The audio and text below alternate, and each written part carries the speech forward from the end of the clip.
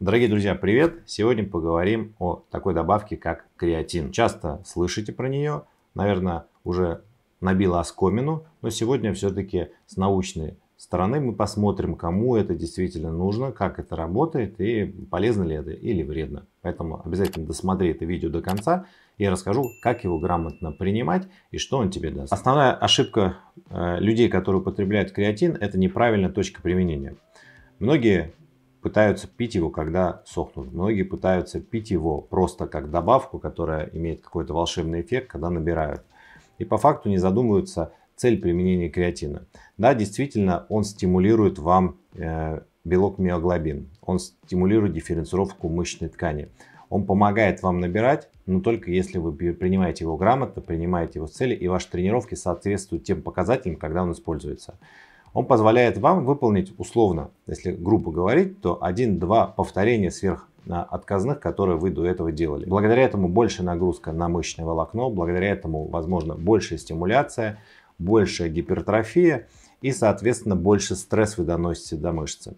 Плюс креатин позволяет вам легче восстанавливаться, лучше восстанавливаться, быстрее восстанавливаться. Поэтому крайне важно применять креатин только тем, кому он действительно нужен. Исследований много, есть куча исследований, которые говорят, что безопасно принимать креатин с утра до вечера, ну не с утра до вечера, но там по 5, 10, 15 грамм в день в течение 5 лет можно принимать. Но по факту на самом деле вы прекрасно понимаете, что рука э, создателей биологических добавок, спортивного питания часто очень дотягивается до различных исследований.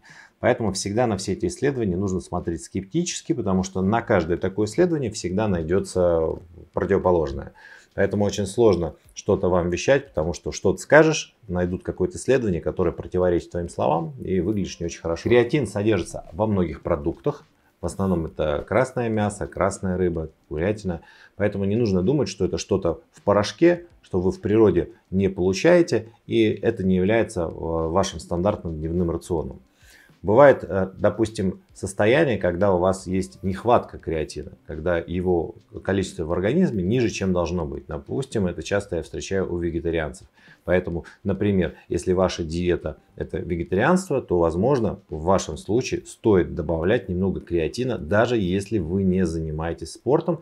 1-2 грамма в день вам принесет большую довольно-таки пользу. Сегодня мы рассмотрим выжимку и тезисы из международного журнала прикладных медицинских исследований, которые посмотрели метаанализы и сделали для нас выборку интересных фактов о том, что же дает нам креатин. Первое.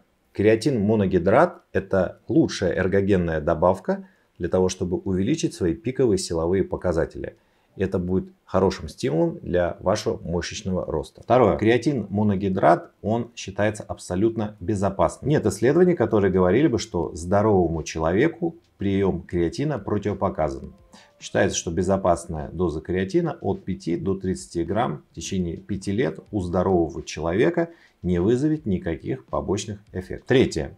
Применение креатина моногидрата, особенно у молодых спортсменов, снижает Э, соблазны и риски того, что человек решит использовать анаболические стероиды. Третье.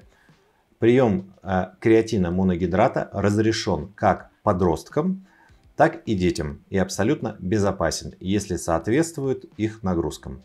Э, есть некоторые правила. Первое. Дети делают это под наблюдением специалиста. Дети полноценно питаются и соблюдают сбалансированное питание. Третье. Они осведомлены о том, как правильно принимать креатин. И последний пункт, они не превышают рекомендуемые дозировки. На некоторых продуктах есть э, надписи, что применение креатина не рекомендуется, если вам еще нет 18 лет. Но это, скорее всего, выдумки, я бы сказал, производителей для того, чтобы снять с себя юридическую ответственность. Потому что есть множество исследований, которые говорят о том, что прием креатина безопасен как для детей, так и для подростков. Пятое. Среди всех видов креатина самым эффективно действующим является креатиномоногидрат. Шестое. Креатин иногда рекомендуют применять с углеводами. Да, действительно, применение креатина моногидрата с углеводом увеличивает его биодоступность. Седьмое. Прием креатина бывает в двух формах. Первое с фазой загрузки – и второе без фазы загрузки. В фазе загрузки в течение 5-7 дней вы должны употреблять креатин в дозе 0,3 грамма на килограмм массы вашего тела.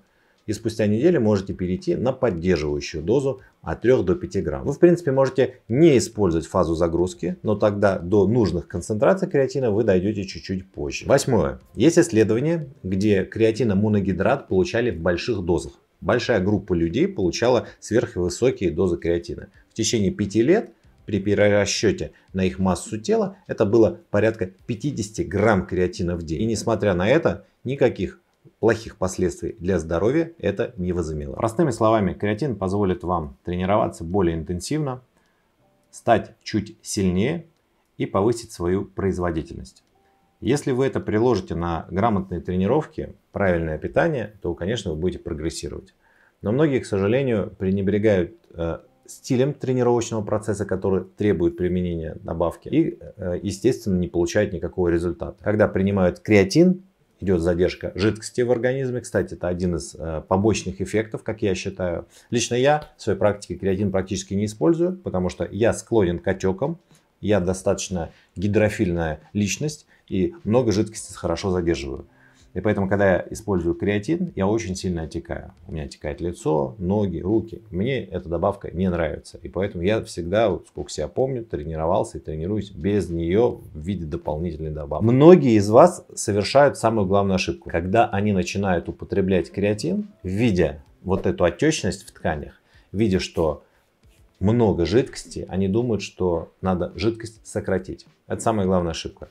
Ни в коем случае количество жидкости сокращать нельзя. Несмотря на то, что вы даже, может быть, чуть-чуть отечны, жидкость пить вы должны в достаточно большом количестве, от 3 литров в сутки. Многие из вас считают, что креатин нужно принимать только перед тренировкой.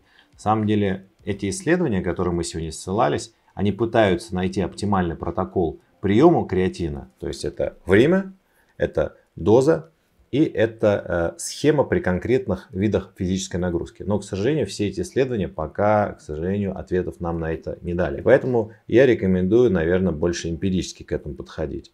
Но что точно могу сказать, что применять креатин можно не только перед тренировкой, но и после тренировки. Применение креатина в небольших дозах 1-2 грамма после тренировки поможет вам лучше восстанавливаться. Если ваша цель особенно мышечная гипертрофия, то 1-2 грамма после тренировки для восстановления служит очень хорошей э, помощью подспорья. Многие еще также спрашивают, а с чем же все-таки принимать креатин? Э, с водой, либо с соком виноградным. Почему с виноградным? Потому что там больше всего углеводов. Да, действительно, э, скорость усвоения, эффективность работы креатина, КПД, так скажем его, будет выше в зависимости от того, с чем вы его принимаете.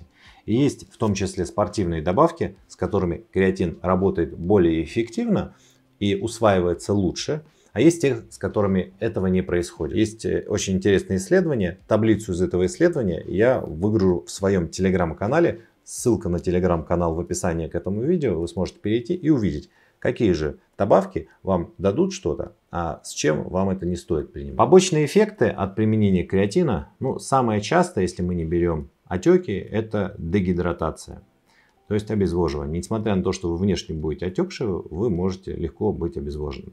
Поэтому обязательно много пьем. Второй побочный, очень частый эффект – это э, не, не несварение, а проблемы с желудочно-кишечным трактом. То есть это может быть вздутие, диарея. Чаще всего это происходит из-за того, что вы принимаете слишком большую дозу креатина, поэтому если у вас э, наступает расстройство кишечника, расстройство пищеварения, я рекомендую дозу приема креатина сократить в два раза. Судороги. Некоторые из вас пишут, что у меня на фоне приема креатина происходят судороги. На самом деле судороги происходят чаще всего у тех, как раз таки, кто обезвожен. Поэтому да, судороги при приеме креатина могут быть, но вызваны они тем, что у вас нарушен электролитный баланс и есть в организме нехватка жидкости. Большое количество выделяемой мочи. Некоторые из вас тоже спрашивают, нормально ли то, что я после приема креатина полночи могу бегать в туалет. Да, действительно, когда у вас днем идет большая задержка жидкости в организме, особенно после тренировки, то вечером, когда организм ваш начинает эту жидкость отпускать, вы банально начинаете ее из себя э, вымачивать. Да, действительно, это один из побочных эффектов приема креатина, это увеличение э, диуреза. Ну и также не забывайте, что вы еще при этом много пьете. Касательно влияния креатина на гормональный фон мужчины не влияет. Не влияет, но косвенно все-таки влияет. Через что влияет? Через увеличение интенсивности нагрузки, через э, большую стимуляцию центральной нервной системы за счет этого и как следствие компенсаторный рост, возможно, тестостерона. Поэтому, да, действительно, прямого воздействия нет, но изменения в интенсификации тренировочного процесса могут отразиться в улучшении или ухудшении, если идет недовосстановление гормонального фона мужчин. О том, как комплексно повлиять благоприятно на мужское здоровье, я рассказываю в своем эфире. Ссылка на этот эфир в описании к этому видео.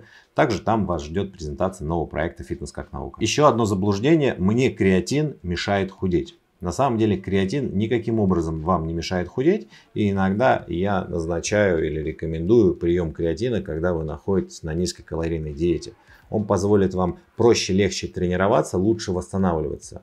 Хотя в моменте времени, пока вы его принимаете, вы будете более отекши и, возможно, вы не будете видеть улучшения. Возможно, вы не будете видеть, что вы сохнете, худеете. Но, как говорится, главный итог. В конце, когда мы отменяем прием креатина, вы отпускаете воду довольно, ну, достаточно довольно-таки быстро, и вы видите результат своих трудов и усилий. Также э, большое заблуждение, что креатин вызывает э, огромную какую-то стимуляцию, прибавку в мышечной массе в несколько килограмм за неделю. Помните, что любые резкие изменения в прибавке, либо в снижении массы тела это всегда гуляет вода. Поэтому не обольщайтесь, если вы с креатина быстро за неделю, за две набрали пару килограмм, это водичка. Как пришло, так и уйдет, если не будете хорошо тренироваться. А используется ли креатин где-то еще? И что говорят исследования? Исследования говорят о том, что креатин позволит вам снизить риск развития болезни Паркинсона, болезни Альцгеймера и других нейродегенеративных заболеваний. Поэтому действительно Креатин это не только про спорт, это в принципе и про здоровье. Очень частый вопрос, который вы мне задаете. А стоит ли переплачивать за какой-то крутой бренд, который производит креатин?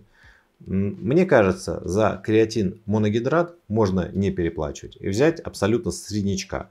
Не нужно пытаться э, получить какое-то супер качество в таком простом продукте. Друзья мои, тренируйтесь, будьте здоровы, не травмируйтесь. Но помните, что основа, она кроется в режиме, в усилиях, в тренировках и в дисциплине. А в добавках, наверное, уже в самую-самую последнюю очередь. Будьте здоровы, подписывайтесь на нас. Спасибо, что вы поддерживаете и следите за моим творчеством.